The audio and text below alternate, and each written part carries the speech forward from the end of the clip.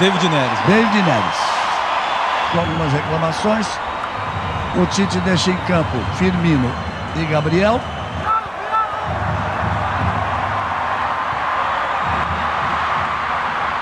Inverteu o lado.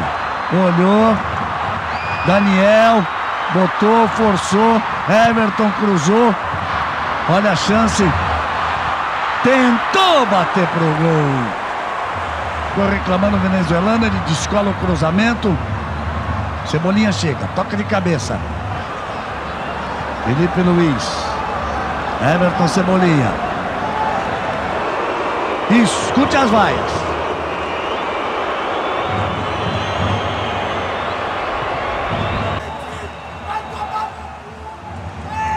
E o torcedor continua acreditando, o Brasil inteiro continua se ligando, acompanhando a seleção brasileira. É isso que a torcida queria. Partiu, foi pro ataque, encara esse. Isso, linha de fundo, fez a jogada, olha a chance, olha o gol!